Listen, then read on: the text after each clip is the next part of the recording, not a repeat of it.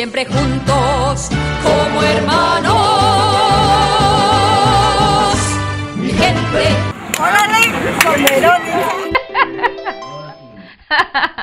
Gracias por sintonizarnos aquí en Órale con Verónica. Estamos muy contentos de ser parte de su día hoy.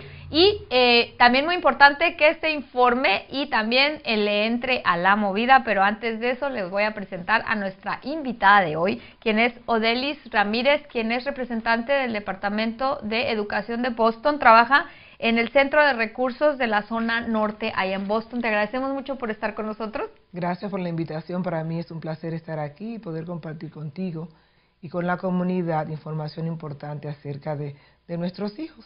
No pare, siga, siga mientras yo converso aquí con Odelis acerca de las fechas importantes de nuestra, de, que tenemos que tener en el calendario para nuestros hijos. Mira, hay varias fechas importantes uh, para inscribir tu hijo en la escuela pública de Boston.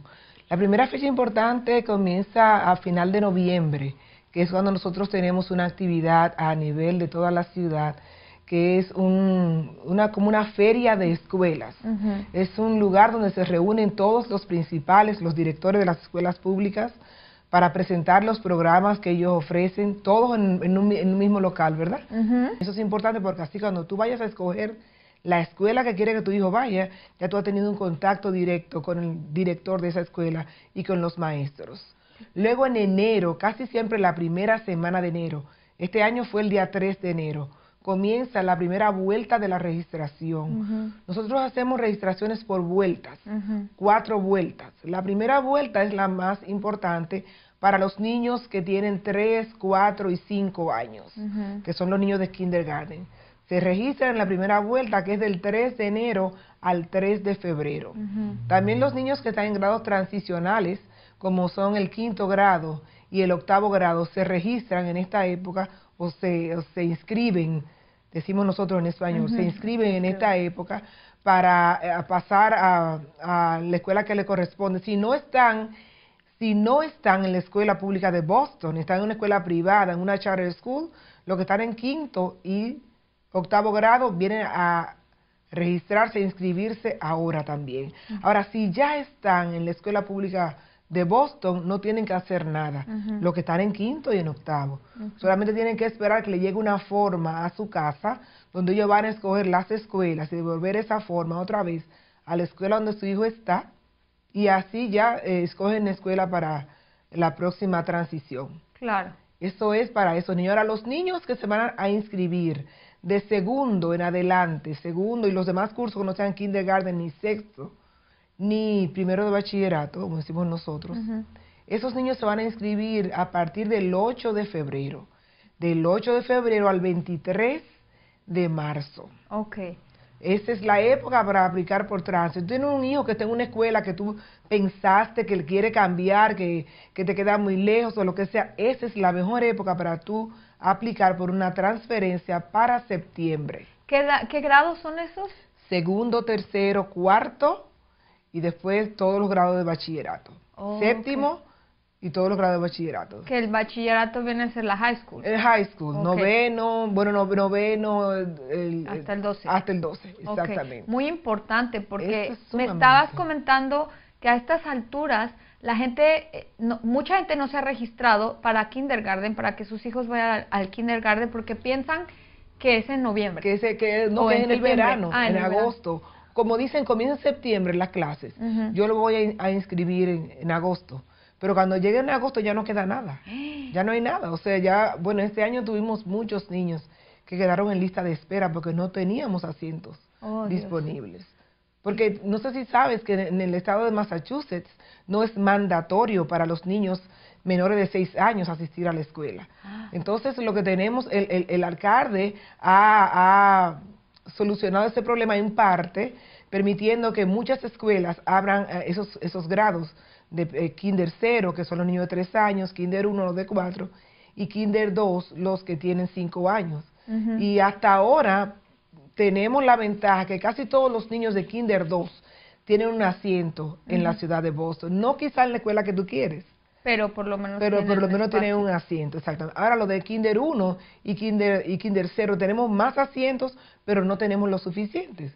los suficientes asientos. Por eso muchas veces decimos que es una lotería. Claro que sí. Bueno, vamos a seguir hablando acerca de eso en el siguiente segmento porque es muy, muy importante que nuestros hijos estén en la escuela, porque es muy importante que se eduquen desde chiquitos y que aprendan a socializar también el, en el ambiente de, comunidad de una escuela. Entonces, te voy a invitar a un corte mientras la gente sigue en la movida, a quien, órale, con, Verónica.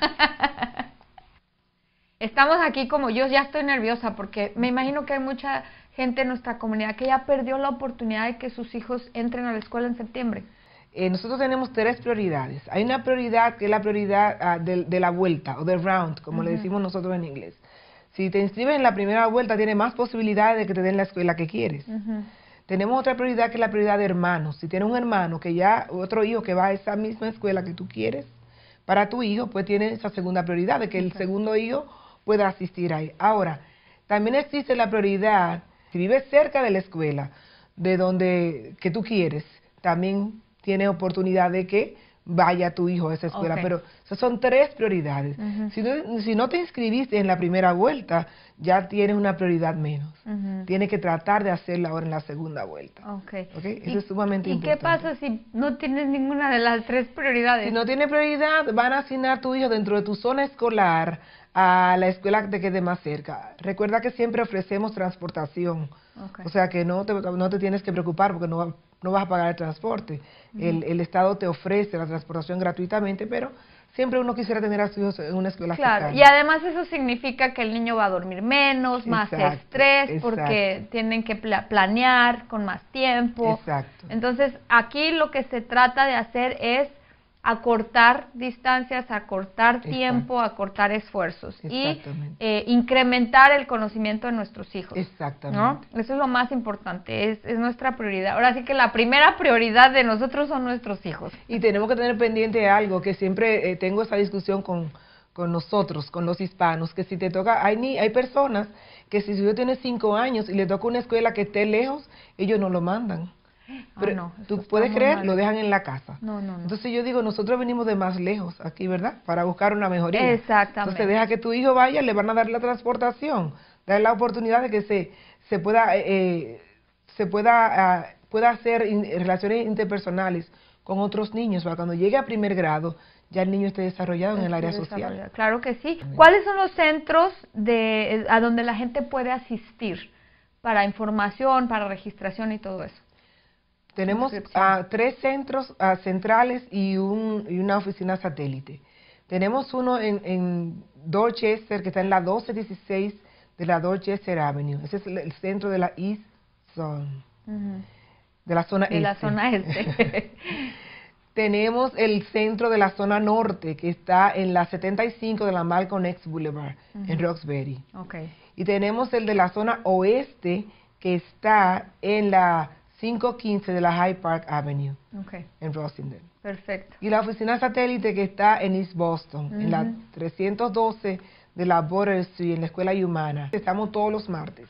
Y también me estabas hablando de la documentación. ¿Qué necesita la gente? Necesitamos traer el contrato de la casa donde vivimos y un recibo de la luz, el gas o el teléfono. O si no tienes esos documentos, puedes traer el el estado de cuenta del banco más reciente o una carta de alguna agencia gubernamental que te haya llegado en los últimos 60 días o un, si tienes una casa, puedes traer el DIT, el título de propiedad de la casa o, el pago, el último pago que hiciste. Tenemos un documento que está en, el internet que lo pueden buscar en bostonpublicschool.org que se llama Affidavit, Landlord Affidavit, que tú puedes entrar y puedes printar ese documento y dársela a tu landlord para que te la llene. Tienes que traer un, un ID, puedes tener un ID de, de, hasta de tu país, no importa. Lo importante es que tenga tu foto y tu nombre. El acta de nacimiento original es imprescindible para todos los grados por primera vez. Bachillerato necesitamos el acta de nacimiento y las vacunas. Muy importante. Mira, Verónica, tú no sabes qué importante es que los niños estén al día con las vacunas. Los gobiernos en nuestros países gratuitamente ponen las demás vacunas, pero la hepatitis B, y la varicela casi siempre tú tienes que pagar y nosotros no la ponemos porque no son mandatorias en nuestros países.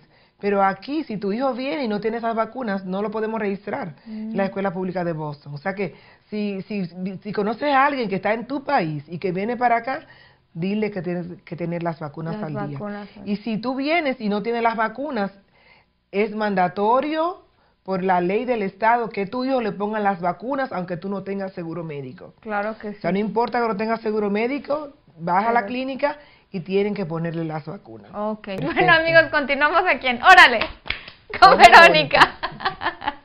Odelis, deme un- in- información de contacto. 617-635-9046. Para cualquier pregunta, hay un staff de personas bilingües que hablan diferentes idiomas que están ahí solamente para contestar preguntas. Perfecto. También estoy interesada en que nosotros, los hispanos, comencemos a manejar el Internet para hacer las cosas eh, de la educación de nuestros hijos. Puede ir a bostonpublicschools.org y puede marcar la parte que dice en español y toda la información va a estar en español.